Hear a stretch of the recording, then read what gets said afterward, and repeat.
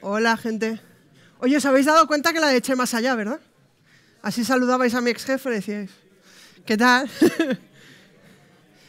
no sé, yo no, me, esperaba menos gente, son las 5 de la tarde ahí, la siesta, el calorcito de Madrid y, la, y a Chema Alonso enfrente, o sea que... ¿Tú te esperabas a esta gente? No, ¿eh? Oye, muy bien, gracias. Gracias por venir. Pues venga, le damos, ¿no? Eh, queda, espera, queda un minuto 15 segundos. O podemos empezar, ¿no? Si alguien sabe un chiste, pues... Sí. ¿No? ¿Algún chiste de performance? ¿No? no. Venga. ¿O un chiste de paralelismo? Pues empecemos. Sí, vamos a empezar. Venga. ¿Quién se acuerda de su primer día en su actual trabajo?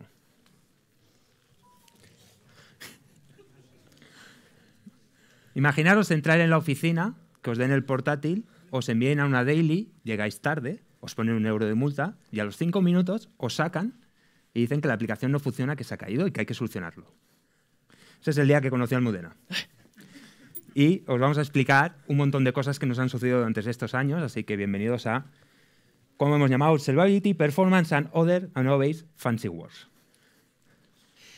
Pues esta soy yo, Almudena, eh, mi vocación es de matemáticas. Estudié matemáticas, o sea, triste de mí, apiadaros de mi alma. Eh, suelo hablar en eventos de DevOps, de WebPerf, de QA, desde 2011, o sea que me tenéis por ahí bastante vista algunos. Y llevo desde finales de 2018 en SCRM. Y yo soy Robert, soy Domain Technical Lead en SCRM, más bien conocido como Brownies... Eh, ¿cómo Solver. Brownies Solver, porque todo Brownie que me llega lo tengo que solucionar. Y bueno, y entre otras cosas organizo eventos en la comunidad como el Coreconf, el Global Azure, y hablo pues donde me dejan, que es en poquillos pero, pero bueno. Y venimos a hablaros de nuestras miserias, ¿vale? La verdad es que no esperéis nada técnico, no, venimos aquí a aburriros. Bueno, sí que hay cosas técnicas. Pero poquitas, poquitas, poquitas. Pero venimos a compartir miserias. Miserias de, de lo que hemos vivido. Miserias y aprendizaje. Y aprendizaje, sí, perdón, perdón. Y éxitos, y grandes éxitos. Vale, esto parece... Y algún fracaso también, sí. Parece Barry White, fracasos amorosos. Vale, entonces, eh, ¿quién de vosotros usa... Bueno, espera, ¿quién de vosotros compra el Lidl? O hay muy pocos. Podéis mentir, ¿eh? Podéis mentir, por favor. ¿Quién compra en Aldi? Ah, menos. Hay dos, vale. Bueno, estáis, sois potenciales usuarios de Lidl. Eh, la otra es quién usa Lidl Plus, ¿vale? Lidl Plus es una aplicación de fidelización eh, para el supermercado de Lidl. Y te dices, bueno, pues, ¿qué hace Lidl Plus? Básicamente intentar que nuestros usuarios vuelvan a los supermercados. Les damos descuentos, les damos ofertas, les damos muchas cosas. Es una aplicación que nació en el 2017, si me equivoco, por ahí, 2017, en dos, diez tiendas de, Zaragoza, ahí como un MVP. 2017 estamos hablando, yo llego en el 2018 cuando ya dicen, oye, esto funciona, vamos a hacer, vamos a ir a lo grande. SCRM siempre es una empresa que han pensado a lo grande. Dice, think big, ¿no? Sí, think big. Vale, luego lo veréis, que es parte de la cultura. Mm. Y nos proponen una cosa muy loca, que yo al CEO, pues la verdad es que cuando me lo dijo, cuando me contrató, pues, me reí. Dije, sí, claro. Primero, de verdad. Eh, y era ir a tres países cada tres meses. Y decías, tú estás loco, o sea, de verdad. Claro, a mí me contratan ya para decir, oye, esto tiene que escalar, vamos a ir, eso, tres países cada tres meses. dices, eso no es escalar, eso es irte contra el, eh, contra el acantilado y tirarte al vacío. Efectivamente. Porque ahí tenemos las gráficas hacia dónde queríamos ir, cuál era nuestro wish y donde teníamos que conseguir. Entonces ahí es donde llego yo, cuatro, tres, tres cuatro meses después de, Almudena, y lo que nos encontramos pues son, no un monolito en este caso, habían tres monolitos, tres bonitos, magníficos, maravillosos monolitos, a los cuales todavía les seguimos guardando un apreciado recuerdo en nuestra alma, porque hicieron su función. roba todavía. Y, sí, hicieron su función perfectamente. Y la suerte que tuvimos en ese momento es que este producto o este proyecto eh, creció ya siendo cloud native, es decir, ya todos usaban en aquel momento el cloud 100%, en contra, en este caso, del, del, grupo que no quería que usásemos el cloud. Y eso pues, nos ayudó muchísimo a la hora de encontrarnos que teníamos que encontrar cómo podemos escalar y hacer esos tres eh, países constar cada tres meses en el y encontrar escalabilidad y cómo conseguíamos tener la resiliencia. Ahí es cuando empezamos con qué hacemos, ¿no? Pasamos el monolito, hacemos microservicios y empieza esta discusión de hacia dónde vamos y cómo lo vamos a hacer.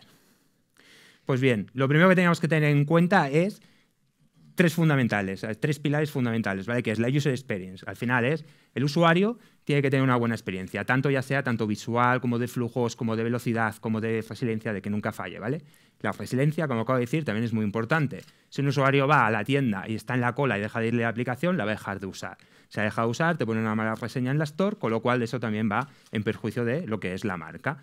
Y efectividad, ¿vale? Y el no, perdón, la estacidad y eficiencia. O sea, es decir, no solamente tenemos que parecer y ser guapos, sino encima que tenemos que ser rápidos en ello, ¿vale? Que sería un poquito el resumen de los tres pilares. Sí, acordaros eso, lo que decía Robert, que estábamos en la cloud y ser eficiente y elástico en la cloud tiene, es un truco, ¿vale? Que lo veréis a posteriori.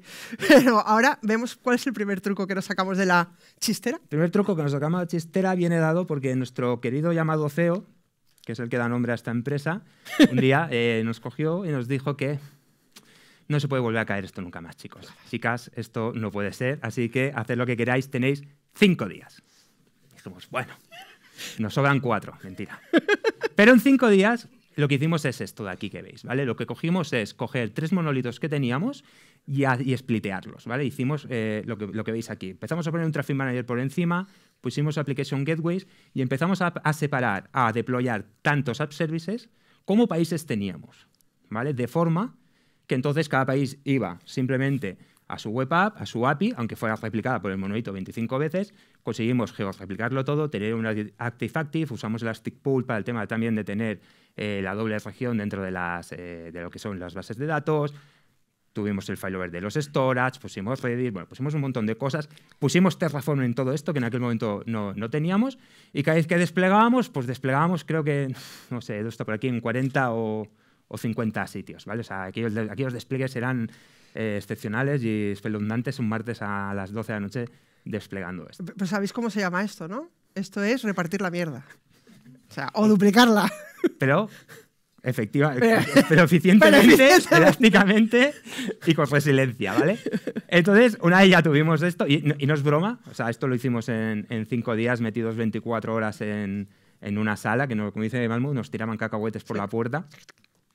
Y luego venía lo siguiente, que era, vale, ¿cuál es el siguiente paso? ¿no? El siguiente paso, lo lógico era, vamos a empezar a partir, sobre todo para que los equipos tuvieran mucho más autonomía, pudieran trabajar más deprisa, no perdiéramos velocidad. Entonces empezamos a partirlo por microservicios y pues, agregar un poquito la responsabilidad de cada una de las funcionalidades que teníamos. Y esta era un poquito la eh, arquitectura core base que en aquel momento, que no es la que tenemos ahora, que la veréis después, empezamos a implementar en, todos los productos, que al final era mantener lo que había, pero yendo separando y usando Cosmos que nos daba mucha, eh, mucha más resiliencia y elasticidad a la hora de poder generar nuestros productos. Esto lo que implica, si lo veis ahí abajo, ¿vale? Eh, uno era que tenemos que escalar no solo lo que es la solución a nivel de software, sino también los equipos, porque iban apareciendo setas que eran los microservicios, entonces íbamos escalando equipos y teníamos a este, a este nivel solo teníamos monitorización. Teníamos un insights por cada uno de los microservicios, con lo cual cuando querías tener una visión global, ibas saltando de micro en micro. Un horror, aquello era infumable. ¿Cuál fue el primer paso que teníamos que hacer? Observabilidad, unificar eh, todo lo que pudiésemos hacer de tener solo una fuente de, verdad. Empezamos haciendo, como siempre, como todos, empezamos por Grafana. ¿Y qué es lo que teníamos como fuente de verdad? Lo que sí que sabíamos antes de que vinieran los tres países, que lo llamamos clusters, cada clúster cada tres meses, pues te venían, era que te llegaban como seis meses de antelación, te llegaban el número de tickets. El ticket real. O sea, te llegaban tantos tickets por segundo de ese país. ¿Qué hacíamos entonces? Teníamos ese dato como hipótesis de validación, teníamos, considerábamos como hipótesis que un usuario es un ticket y sabíamos más cuántos usuarios teníamos concurrentemente en la tienda, cuántos tickets generaban, cuántos tickets teníamos por, por país y podíamos extrapolar diciendo, bueno, pues con un 40% de penetración de la gente que se va a identificar en las cajas, pues lo que tenemos es tantos usuarios, tantos métricas, o sea, tanto lo que podíamos tener. Hacíamos un análisis previo. Acordaros eso de lo que estoy diciendo. Antes de que llegasen los países teníamos seis meses en los que nos estaban llegando tickets constantemente. Hacíamos un análisis de esos datos y ya podíamos hacer unas pruebas de, bueno, unas pruebas de performance y teníamos la observabilidad más o menos ya con su primera, pues, su primera fuente. Y si os estáis preguntando, sí. Nos llegan todos los tickets de todas las tiendas, de todas las compras de toda Europa, perdona, y los tratamos. Uy, sí, Bueno, sí. Disclaimer. Disclaimer. Todo esto no lo digáis. Bueno, la parte de análisis lo que hacía era no solo mirar los tickets que te vienen, no solo decir, sino cuántas líneas de ticket te van a venir, cuál es el, número de productos que tiene. eh, hacías un- una serie de. Porque no es lo mismo que, te, llegues con un ticket que tarda que tengas un ítem, uy, que se me ha olvidado el pan, y vas a no uno que haces la compra mensual y te llegan ciento y pico ítems, ¿vale? Eh, sale ítems, maravilloso. Entonces, ¿qué hacíamos con esta parte de te llegan todos los tickets? Pues lo primero es que identificas cuáles son los indicadores del servicio que necesitas para llegar a tu objetivo. Tu objetivo de Success en este caso era pues la penetración de en este país, vamos a tener un 40% de engagement en los primeros X tiempo. O vamos a tener este número de registros y altas porque tenemos este número de usuarios, habrá una campaña en las tiendas, habrá una campaña en la televisión, pues tenemos este, este Service Level Objective, ¿no? Tenemos este objetivo a donde tenemos que llegar. Luego la SLA, las cajas no son nuestras, no son de Lidl Plus, no son de SFRM, es una empresa eh, de, otra empresa que está contratada por el grupo. Tienes una SLA. En este caso era bastante evidente. Tú no puedes tener a un usuario en la caja dispuesto a pagar y que no le haya llegado el ticket y no haya recibido los descuentos, que no haya recibido eh, la gamificación del Scratch, lo que tiene el rasca que le llega al final de la compra. Tenías un SLA de tiempo de respuesta del ticket tiene que estar procesado en menos de un minuto cuando entra. Eh, ¿Qué veíamos también? Eh, veríamos cualquier tipo de, de insights en los que podíamos restartear el proceso. Teníamos el reproceso de tickets, reproceso de, de descuentos. Podíamos empezar otra vez a decir, oye, en este país, por ejemplo, el- la conversión ha sido mayor que en el anterior. Bueno, pues vamos a, repre- vamos a repensar otra vez todos los, los SLAs, todos los indicadores del servicio, para poder escalar acorde y de forma eficiente y elástica para lo que nos va a venir. Y era una, conti- una, una mejora continua. Eso lo teníamos en, en gráficos, en, lo que veíamos. Lo Tenemos ahí todo en gráficos.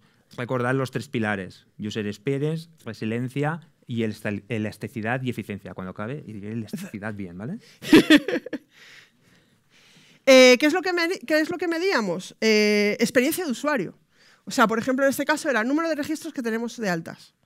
Eh, ¿En cuánto tiempo se han hecho? Eh, número de redenciones que realmente son tickets con descuentos que, llegan a nuestra plataforma. O sea, de usuarios que realmente estaban usando la aplicación, que estaban haciendo, usando en los cupones de descuento.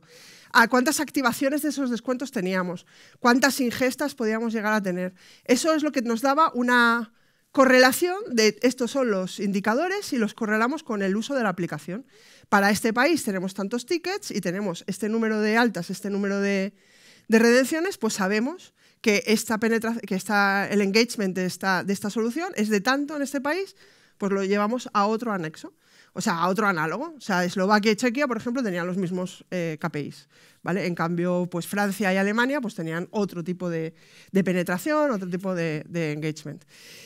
¿Qué, qué mirábamos? O que hay Eh, que mirar. ¿Qué hay que mirar? ¿Qué estábamos hablando? Experiencia de usuario.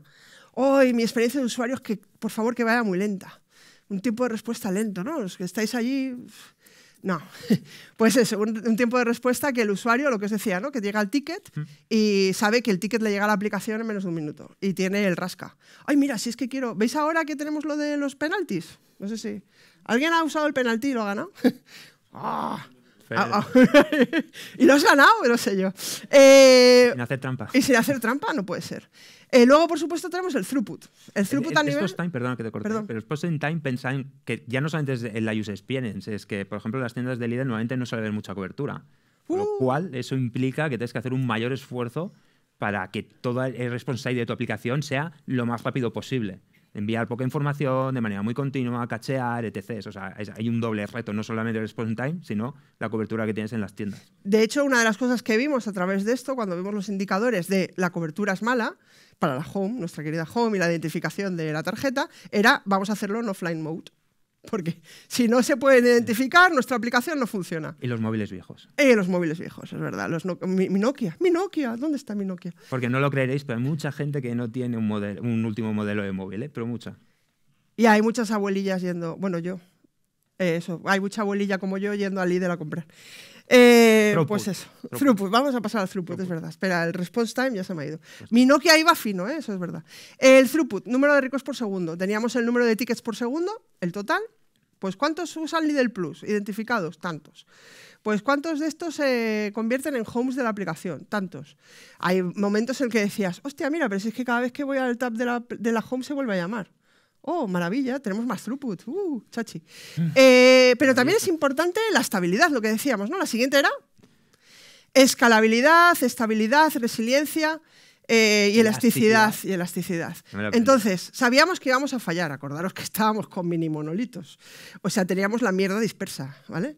Eh, pues, Aparte de pensar, ¿eh? o sea, que los sistemas fallan. El único sistema que no falla es el que no se usa, que siempre nos lo dice aquí nuestro compañero Fernando Escolar. Sí. Y el que no se usa, pues no, no tiene. No, el, el business no, no tiene retorno. ¿Qué es lo que teníamos que medir? ¿Cuánto tardábamos en fallar? O sea, cada cuánto íbamos a fallar o cada cuánto podíamos fallar.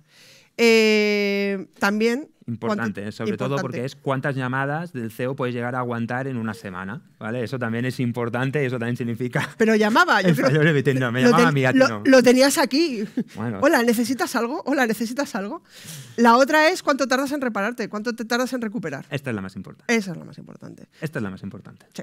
Esta es la más importante de todas porque al final un sistema tarde o temprano te va a fallar, ¿vale? Porque al final es tecnología o es infraestructura y va a fallar. Lo importante es cuánto vas a tardar en recuperar ese servicio. Y más dependiendo de, dependiendo de, eh, de, cuál sea tu negocio.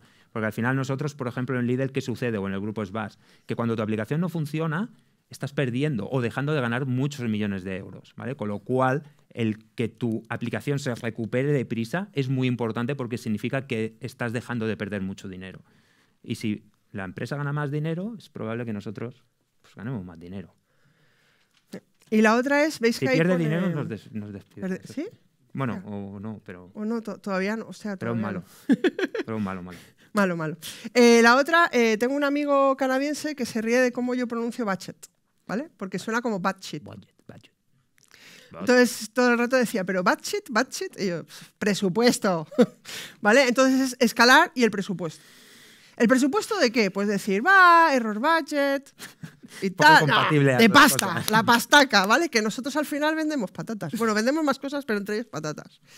¿Y qué es lo que pasa? No, no, sí, no, pero es que este scaling budget es, es, es, es, bueno porque al final tienes que escalar, pero tienes que ser barato. Entonces, normalmente eso es un poco incompatible, ¿no? Si escalas vas a pagar más, pero claro, te piden que también tus productos pues, que tengan un coste que sea razonable y que tengan un retorno de la inversión que estás haciendo, tanto en infraestructura como al final lo que te provee de los, de los, de los clientes, ¿no? de lo que estás vendiendo. Entonces, bueno, aquí también encontramos nuestros truquitos y nuestras cosas.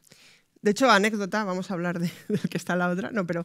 Eh, no, no, no, podías ponerla. Esto es una anécdota. Esto es de la, la, abuela cebolleta.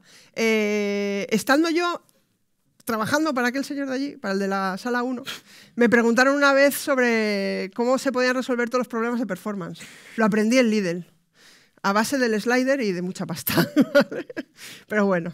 Eh, campañas. Da mucho gusto ¿eh? cuando le vas poniendo y no pagas. dices, ¡ay! Pero luego te viene alguien y te dice, pero. pero claro, luego te dicen que tienes que reducir en seis meses a la mitad de gasto, entonces allá. Eh, tenemos campañas. Somos un retailer al final. Acordaros que eh, Schwarz Group, Gruppe, eh, es el segundo del mundo después de Walmart, que no es pequeño, que no somos... El líder aquí puede estar detrás de X supermercados cuyo nombre no vamos a decir, Mercadona. Eh, pero... sí. Eh, pero bueno, pero en el mundo pues es, importante, es el segundo después de, de, Walmart, ¿vale? Entonces, ¿qué pasa? Que tenemos ciertas campañas, pues tenemos las que se inventan los chinos de Singles Day, eh, luego tienes el Black Friday, tienes Cyber Monday en los e-commerce, eh, pero luego tiene la, gran campaña de Navidad, que es todo el mes. No ha visto el anuncio de Movistar de Navidad de Lidl, ¿no? Navidad, no, Lidl. ¿Vale? Eh, y es verdad que en el mes de Navidad, o sea, en el mes, los 20 días de Navidad, creo que es hasta el 30% de todas las compras de todo el año. ¿vale? Ese, de hecho, desde, desde que se inventaron los single days y todo esto, desde mediados de noviembre, hasta enero. Es... es... no toques el entorno. Y tú, sí, hombre, bueno, no toques el entorno. Bueno, pero tenemos nosotros lo tocamos. nosotros lo tocamos. Eh, tenemos Navidad. ¿Y qué pasa en Navidad? Que escalas. No solo tienes que escalar aquello que estábamos diciendo con, con los países y tal, sino que también tienes que escalar Navidad. ¿Por qué no? Porque esto es la realidad. O sea, ¿cuántas veces nos hemos quedado por la noche dándole a... ¡Levanta, levanta! Eh, ¿Vale? Entonces, porque siempre tienes que pensar que en producción te vas a caer. Porque hay, la siguiente veréis, los picos que podemos llegar a tener. Y lo que estaba diciendo ahí Robert, es muy importante. Tienes que saber scaling and budget. Hay veces que tu campaña no merece la pena escalarlo para que absorba un pico de este tipo. Mm. Y tienes que saberlo. Tienes que hablar con tus business analysts. Tienes que hablar con diciendo al de negocio, oye, pero este branding, o sea, nuestra reputación en esta campaña nos jugamos la vida. A lo mejor no. ¿Vale? Navidad está claro que tenemos que escalar dale, o sea, tira, slider, dale, gustirrining, ¿vale? Pero hay otras, por ejemplo, que dices, oye, mira, que es un puntual, ¿sabes? Que luego te vas a recuperar y al cabo de 10 minutos o una hora vas a absorber la carga.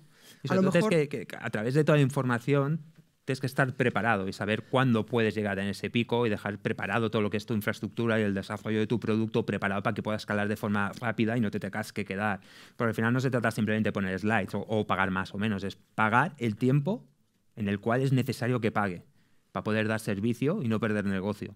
Entonces, si ahí durante una hora pagamos, me invento, un millón de euros de infraestructura, están bien invertidos. Versus igual perdemos 10 millones de compras. Pero luego tienes que desescalar, no puedes dejar ese millón durante dos semanas o un mes o, O seis lo que- meses, ¿no? eh, algunas cosas. Hay que ver. No saques miserias. Palitos encontrados.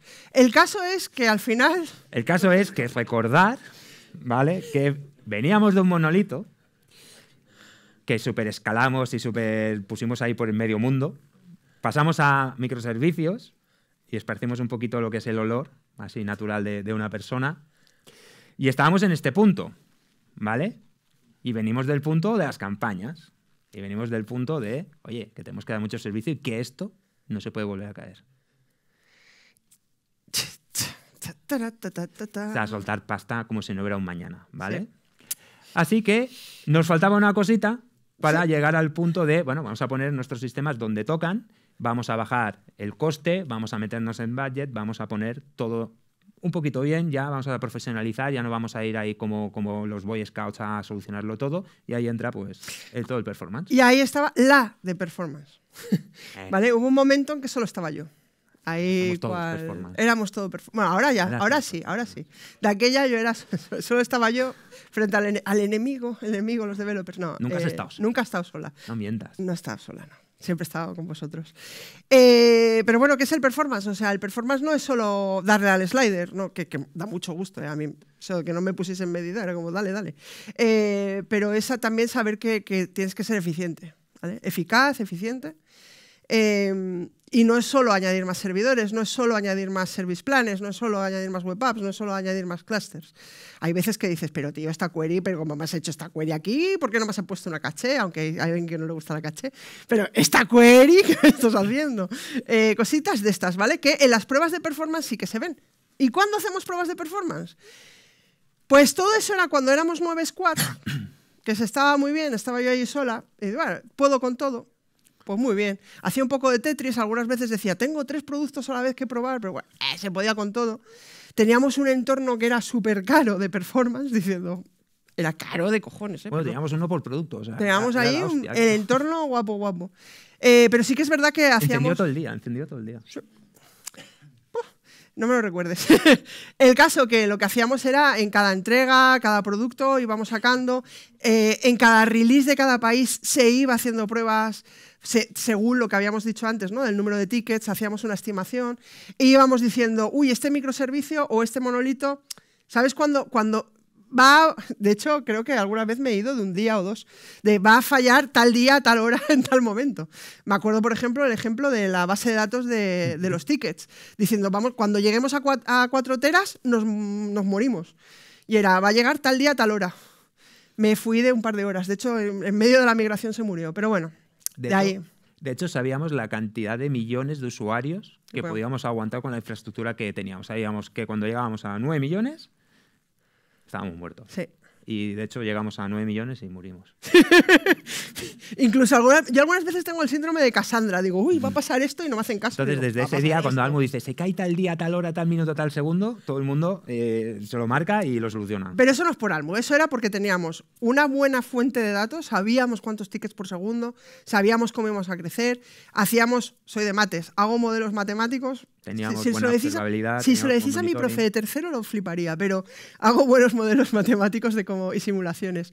Y simulábamos bien y teníamos el margen de tengo un entorno, de performance en los que podemos simular eh, cómo vamos a crecer y sabemos a dónde va a llegar nuestros límites, con lo cual era guay.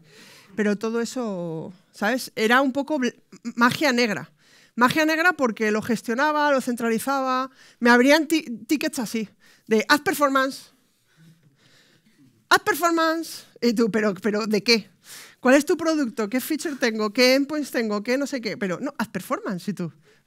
Fantástico. Fantástico, es lo mejor. Black Magic. La frase más, más escuchada era Almo me ha dicho que aguanto.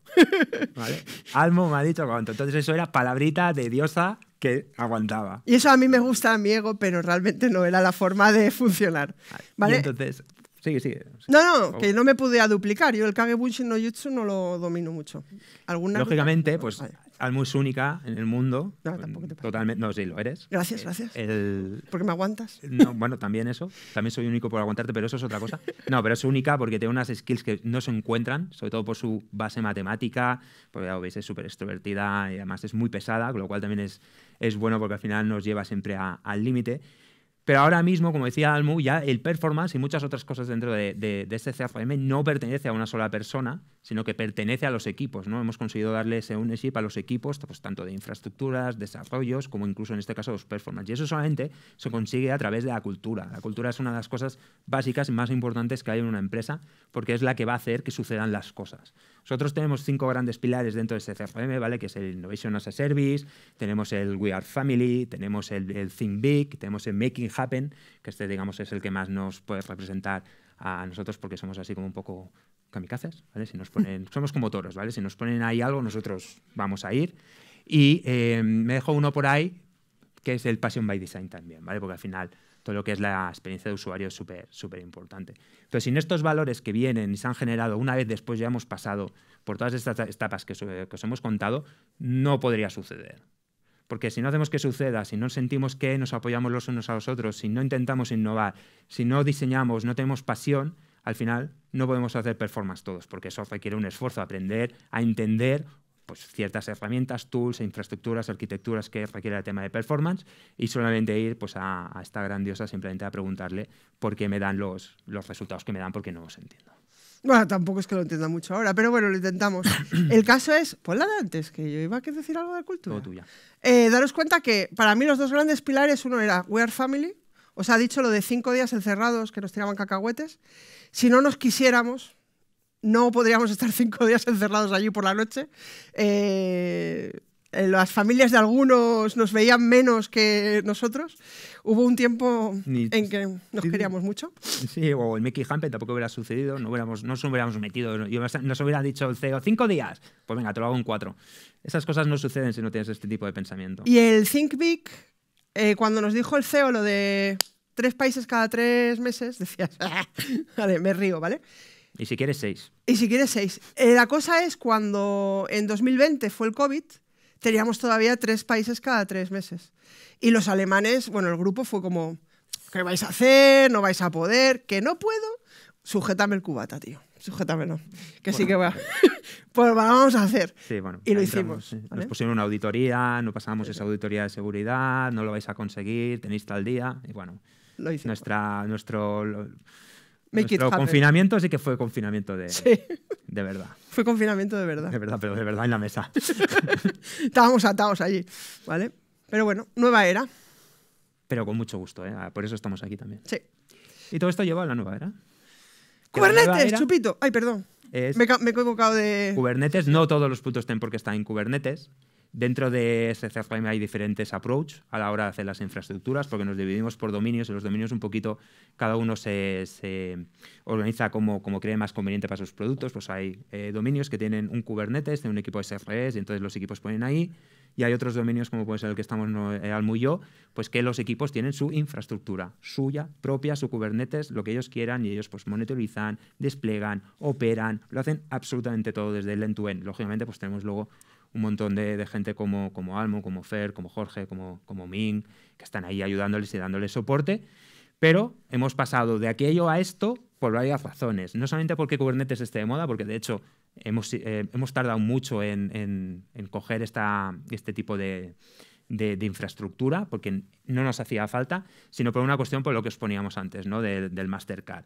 O sea, al final llega un momento que eso no es escalable. Aunque tú tengas microservicios y te generes tus web apps, tus historias, eso no escala, porque al final tienes más, más, más tráfico, más tráfico, más tráfico, y eso te implica pongo más, más, más, más, más. Con lo cual es más dinero, más dinero, más dinero. Entonces llega un punto que económicamente ya no es rentable. Y luego a la hora de los despliegues, a la hora del mantenimiento, a la hora de las operaciones también es mucho más complicado, porque no os podéis llegar a imaginar la cantidad de problemas que os puede dar una web app. Podríamos hacer, Fer y yo seguramente podríamos hacer un, monográfico de dos horas em, escupiendo cosas malas sobre las web apps porque las hemos vivido pues, de, todos colores. Y ahora pues tenemos cosas así, tenemos pues infraestructuras que solamente tienen una región, ostras que tienen dos, pero sí que usamos pues ya este tipo de infraestructura que nos permite escalar más, ser más resilientes y sobre todo tener más coste. Eh, porque, lo, bueno, como decía Robert, hay un momento en el que escalas a base de billetes y tú lo que quieres es ser más eficiente. Mola mucho, ¿eh? Escalar a base de billetes. Sí, sí, sí. O sea, mola mucho, lo puedo asegurar, ¿eh? Pero hay que ser eficiente, hay que hacer performance, no se puede tirar más en servidores. Dices, mira, hasta aquí hemos llegado con lo que tenemos. Sobre todo había varias cosas en Azure que nos limitaban. bueno, pues vamos a Kubernetes en algunos casos. No es necesario siempre. Está de moda, es muy bonito, muchachi, muchachi piruli, pero no hace falta siempre. Hay productos que por, su, tráfico no es necesario. Eso también lo tienes que ver en las pruebas de performance, de este producto no necesita Kubernetes, es que lo puedo servir desde una Raspberry Pi, ¿vale? No necesito un clúster para servirlo, no necesito escalar. No es tan em, bonito tampoco como parece, tiene muchos problemas y también mm, hace que todo sea mucho más complejo. Una de las cosas es, vale, pongo Kubernetes, pero no es solo Kubernetes, tienes que poner todo lo que hay alrededor. Una de las cosas sí que, nos, que aparte nos permite Kubernetes es, una, el vendor lock, o sea, nos salimos del vendor lock, también lo podemos llevar, seguimos en Azure, pero si alguna vez Azure dice, oye, pues lo llevas a otro sitio, pues lo llevamos a otro sitio. Está aquí. Eh, y la otra es que muy rápidamente, lo que os decía antes, ¿no? Hubo un momento en el que alguien me dijo, Almu, te voy a quitar del sueldo lo que cuesta el entorno de performance. Eh, vale, eh, pues vale. lo que hicimos fue pues entornos escalados, Kubernetes, lo levanto, pruebo, me lo cargo.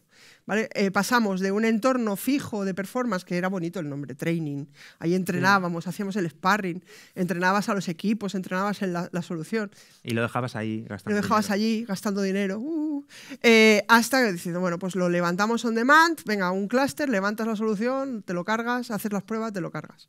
¿Vale? Que era bastante más batshit. Eh, pues mantenías más el presupuesto. Hmm. La siguiente aparte esto de Kubernetes, que es un estándar, la otra, hemos hablado de performance, ¿no? Y la charla se llamaba Observability Monitoring, Observability y Performance. Sí, pues ahora vamos a Observability y elasticidad. Me he aprendido. Y eficiencia. Eh, a observabilidad. Y observabilidad no es solo monitorización, es algo, es mucho más. ¿vale? Una de las cosas que también nos ha permitido eh, bueno, que nos ha facilitado tener Kubernetes, que lo hacemos también en las web apps, es tener OpenTelemetry. OpenTelemetry es un estándar de monitorización, de, observabilidad. Nos permite tener un estándar para todas las soluciones que los podemos representar luego y dibujar y pintar. El pinta y colorea en eh, un stack. ¿vale? En nuestro caso, pues eh, lo pintamos en Grafana pero lo que nos permite es tener siempre el mismo sistema de monitorización, el mismo sistema de observabilidad para todos los productos soy quieto todavía. No, no, siguiente, siguiente. Siguiente, siguiente. Pues espera, espera, espera. ¿Vale? Una de las cosas que siempre decimos, por ejemplo, es que eh, tú tienes que observar desde la misma manera. El usuario o el cliente o el developer tiene que observar los datos de la misma manera. Es el chiste este matemático del 6 y el 9 que están dos mirando es distinto, pues esto pasa siempre con la monitorización. Lo mismo pasa con las pruebas de performance. Una de, las cosas de las pruebas de performance que, veíamos es que usábamos una herramienta que era JMeter, luego pasamos a la de Grafana, que es K6, K6. Eh, puedes usar Locus, puedes usar Gatling, puedes usar lo que te dé la gana. Siempre que tengas el mismo sistema de monitorización y una response time, sea el mismo response time, eh, siempre veas lo mismo, puedes usar lo que te dé la gana para simular la carga. Bueno, lo que te dé la gana dentro de unos estándares. O sea, la que mejor te vaya, la herramienta que mejor te vaya. Y siempre damos soporte a aquella que mejor te vaya. Pero lo importante es que todo el mundo observe de la misma manera. ¿vale? Y eso es algo muy importante para escalar un producto, una solución de software, como en este caso Lidl Plus. Y sobre todo porque al final en, productos como Lidl Plus o otros productos que tenemos dentro de, del grupo, porque no solamente estamos en Lidl Plus, sino que hacemos otros productos, si, tu producto no es aislado, tu producto seguramente está eh, llamando y hablando con otros productos que te desarrollador, con lo cual necesitas tener un estándar en temas de observabilidad y monitoring pues para poderte ir, digamos, desde el principio del problema o el principio donde, bueno, el principio del problema no, desde dónde comienza todo hasta el final, para poder a veces detectar bien qué es lo que está sucediendo y en qué punto, porque muchas veces el problema igual no lo tienes tú, lo está teniendo un producto al lado y tú, en este caso, no lo estás sabiendo. Pero sí que tienes que saber que el producto que al lado del cual tú, en este caso, tienes una integración, está fallando, entonces tu producto no funciona, pues para, para avisarles, echarles una mano o lo que haga falta. Y esto te permite tener esta capa, porque antes cuando teníamos simplemente las web apps con los mm. insights por ahí separados, eh, pues tenías que abrir, pues yo he abierto hasta 10 insights, ¿no? Bueno, 10 por 2 porque estaba el de North, estaba el de West, porque encima no enviabas al mismo. Bueno, y aquello era, bueno, pues eh, divertido. Era divertido. Curioso, pero bueno, no era lo más, lo más óptimo. Pero a este, a este punto no creéis que llegamos directamente, o sea, no pasamos de insights directamente a tener un centro. Llevamos cinco años, ¿eh? Estamos hablando de cinco años. Hubo un proceso en medio en el que teníamos, por ejemplo, cuatro grafanas con 100 data sources cada uno, que era un insight, o sea, el insights al final, lo mismo, esparcíamos la mierda. O sea, lo que llevábamos era, cada insights daba un data source al Grafana y cada dominio pues tenía su Grafana propio. Pero bueno, al final lo que hemos hecho es, vale, y vamos a Grafana, pues nos vamos a Grafana. Nos vamos al Grafana Stack. ¿Qué nos permite el Grafana Stack? Pues tenemos trazas, eh, con, Tempo. Tenemos métricas con Mimir. Los clusters van a enviar a, Mimir todas sus métricas y eso ya podéis, en una charla futura, de hecho en noviembre, podéis ver una de nuestras mis miserias con las, con las métricas y la cardinalidad. Eh, tenemos Prometheus, obviamente, ¿vale? Prometheus como, como fuente de datos. Eh, tenemos OpenTelemetry como estándar. Eh, Mimir, Tempo y Loki, Loki para logs. ¿Vale? Todo eso lo que nos permite es hacer una trazabilidad entre los distintos microservicios. O sea, aunque estés en dominios distintos, tengas squads distintos, tengas eh, eh, equipos de desarrollo distintos, incluso, incluso lenguaje de programación distinto, lo que nos permite es tener la trazabilidad del usuario. O sea, el usuario no va a quedar solo, solo en la home y solo miro la home, sino que la home llama a 28 servicios por detrás, que son lo que podemos hacer la trazabilidad, al final va a llegar a, eso, a hacer un rasca. Podemos incluso integrarnos con otros grafanas, otros stacks de eh, otra empresa del grupo, por ejemplo, los que llevan las cajas. Los que llevan las cajas, tú puedes decirle, ah, mira, el ticket de la caja de no sé dónde ha salido y ha llegado a Azure, a Lidl Plus, a lo que es nuestro stack, ha llegado en tal momento. De tal momento a tal momento ha tardado tanto, ¿vale? Pero ya te estás integrando con los de las cajas, que realmente es otra empresa completamente distinta, ¿vale? Eh, lo mismo con Stackit, lo mismo con tal. Y usamos K6 porque lo que nos permite también K6 es uno, tener el mismo stack de monitorización, o sea, K6 nos permite eh, inyectar y, reflejar las trazas tanto en Tempo como en Loki, eh, eh, como para reproducir lo que es las pruebas de performance. Y son bastante más user-friendly que tener un JMeter maravilloso que lo he hecho en falta. Era muy bonito el JMeter, mm, La verdad que sí. Era muy bonito, estuvo con nosotros 20 años, pero bueno, ahora estamos yendo a K6 y, bueno, va bien. acabamos de explicar en 35 minutos, 5 años de nuestra vida, y parece ¿no? que todos los pasos que hemos pasado sean pues incluso sencillos, ¿no? De decir, bueno, claro, pues pasas de aquí a aquí y pones cuatro dibujos, ¿no? Cuatro arquitecturas, cuatro ideas y tal. Pero realmente lo que tenéis que tener en cuenta es que lo importante es siempre tener un plan y la visión de dónde quieres ir. Y ir dando pequeños pasos para llegar donde tienes que llegar. Porque al final nosotros éramos conscientes de que cuando cogíamos nuestro monolito y lo, y lo dimensionábamos íbamos a tener una serie de problemas pero eso nos iba a permitir luego pasar a microservicios y que los equipos pudieran coger ownership. Pues durante, sabíamos que durante dos, tres, cuatro, cinco meses íbamos a sufrir de pues problemas de eh, sincronización, problemas de gente o problemas haciendo los despliegues, problemas manteniendo nuestra infraestructura, de, los despliegues de infraestructura, infraestructuras a code, mucha gente tocando lo mismo y luego eso se tenía que eh, desplegar en muchos sitios. Pero eso, ese sufrimiento o ese camino por un lado te da em, que aprendes muchísimas cosas y te deja en el momento óptimo o en la situación óptima para que luego puedas empezar a moverte hacia otro lado. Pues lo mismo con la observabilidad y lo mismo con el monitoring. Lógicamente, pues al el primer día dice, es que necesitamos hacer todo esto. Si el primer día nos ponemos a hacer todo eso, apaga y vámonos. Entonces, ha ido, como habéis visto, teníamos monitoring, ponemos observabilidad, ponemos performance y todo eso va acompañado con el objetivo de hacia dónde queremos llevar nuestras aplicaciones y nuestras infraestructuras. No es algo que vaya totalmente separado, sino que va viendo una serie de necesidades y se va actuando en consecuencia a ellas. Una de las cosas que a lo mejor no ha quedado clara, pero bueno, que lo podemos repetir, es ¿cuándo empezamos con este proceso de mejora y de reducción de presupuesto? Cuando ya habíamos hecho el rollout de casi todos los países. No empezamos en medio diciendo, ah, voy a hacer el rollout de Alemania y ahora empiezo a meter Kubernetes.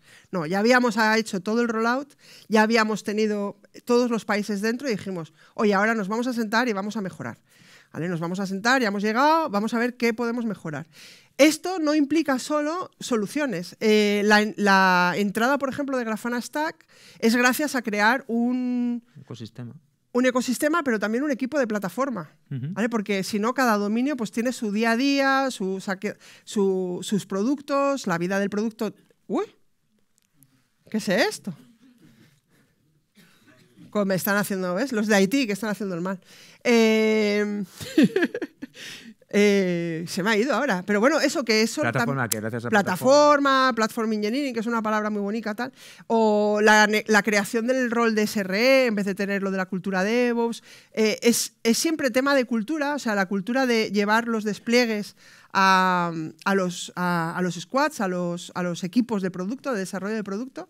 Llevas eh, la cultura de performance, llevas la cultura de DevOps, llevas la cultura de, desarrollo limpio, code clip, lo que sea, todo desarrollo, que no es mi, eso es allí. Eh, y es, es, una parte de, de, dar cultura a los equipos, que yo creo que también como profesionales es algo que te aporta.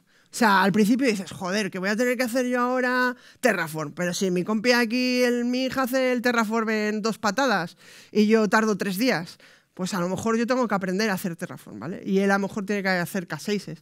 Pues es eh, que te aporta como profesional, te hace un crecimiento como, como, profesional. No es solo el éxito del producto, de la solución del Lidl Plus, que ahora estamos en los 32 países, tenemos seis dígitos de usuarios y vamos a crecer más, sino que tenemos también challenges, sino como profesional yo he crecido estos cinco años y medio. He aprendido Kubernetes. ¡Oh, Dios mío! Oh. He aprendido Kubernetes. He aprendido Kubernetes. He sufrido el de Kubernetes. Y yo ya no pico código. Oh, haces PowerPoints. El comité a PowerPoints, por favor. Un, aplauso para el comitador de PowerPoints. Eh, gracias, gracias. Estoy orgulloso de ello. Eh, no, bueno. Pero sí es importante la cultura, ¿vale? Por eso hemos vuelto a poner esta slide. Porque al final todo lo que acaba de contar Almu es personas, es people, es hacer que suceda a tu compañero, el cómo quiero crecer.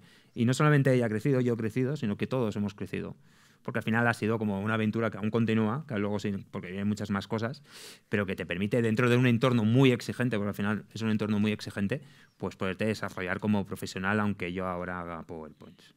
Ay, yo estoy contentísima de que él me pase las slides, no sabéis cuánto. yo le decía a mi jefe pasando las slides como bola. Pero eso, un challenge accepted, ¿no? Yo soy gamer por, por, por vocación hmm. y para mí pues hacer challenge y tener achievement points mola mucho. Claro, y es, ¿y ahora qué, no? ¿Y ahora qué? tenemos muchas cosas abiertas, muchísimas, no solamente hacemos Leader Plus, como os comentaba, ahora pues nos viene pues también eh, los temas de la One App, ¿vale? Toda la parte, si no lo sabéis, pues está Leader Plus, pero está la aplicación de Leader que son los e-commerce. Bueno, pues ahora estamos haciendo lo que se llama la One App, que estamos uniendo toda la parte de e-commerce con la parte de loyalty en una sola eh, aplicación. Estamos también introduciendo nuevos productos en, en la aplicación de eh, Kaufland. Hoy me han dicho que era Kaufland. Kaufland. Kaufland La tienda de las ventas. O de las compras. Bueno, el Carrefour de Alemania, ¿vale? Es, lo que es el... Sí. Eh, también tenemos pues, productos como Payments y Mobility, también estamos haciendo cosas con el Marketplace, más seguramente seremos USSO también. Y también viene Estados Unidos, que aunque no creáis en Estados Unidos, pues también hay tiendas Lidl, tiene una aplicación que se llama Lidl y vamos a migrar pues en breve también hacia hacia nuestro sistema, lo cual ahí pues viene otro challenge, ¿no? ¿Qué, qué haces? Eh, ¿Deployas cosas en Estados Unidos? No, si legalmente puedes, no puedes, cuál es la latencia que te pone, ¿vale? Pues, eh, a mí el que más me mola de Estados Unidos es que de sopetón te van a llegar 40 millones de usuarios. Hmm. Migración, 40 millones, pum. Y tú, eh, de un día para otro, no, no va a ser así poco a poco. No, un día para otro 40 millones y tú. Mm, voy a tener que hacer pruebas. Ay, no, perdón, que ya no las hago yo, los hacen los equipos. Eh, vas a tener que hacer pruebas que lo vas a flipar. Y luego también pues tenemos challenge como, como Stackit, ¿vale? Que Stackit es el, el cloud que está creando el grupo. Bueno, de hecho ya está, está online, con lo cual se, se puede usar. Que, bueno, pues con él lo que se pretende es el primer cloud europeo no hay ninguno. Si os pensáis a pensar en todos ellos, son todos americanos o son todos chinos, no son o asiáticos, no son ninguno europeo. Y nada, y nosotros estamos ahí también metidos, estamos haciendo lo que sería el Azure AD, pues el IDP de Stackit, pues lo estamos haciendo también nosotros y estamos también pues subiendo productos a, a este nuevo cloud y ayudando a la Alemania, pues en este caso, a ver si tenemos éxito. Es muy interesante, la verdad, y funciona bastante bien. Sí. Es un challenge porque la cloud europea necesita una regulación europea según la Unión Europea y hay mucha legislación por ahí que hacer y mucho escalar también. Y luego muchas otras cosas que no podemos contar. Sí, sí. secretitos, secretitos. Pero bueno, ¿dónde estamos? En Barcelona. ¿Buscamos gente? Sí. Mucha. Eh, siempre estamos reclutando. Mucha, da igual lo que sepáis hacer. Sí. Haces el café y ya está. De verdad. Mientras seáis buenas personas, Mientras no seáis como yo, pesado. queráis trabajar, Eh, pues no sé qué más, qué contarles más. Darle más. las gracias ¿no? por venir. Me echa, me echa el tal. Eso, gracias por venir, que sois maravillosos. Gente. No sé si tenéis preguntas, es vuestro momento, dudas. Lo hemos explicado todo genial.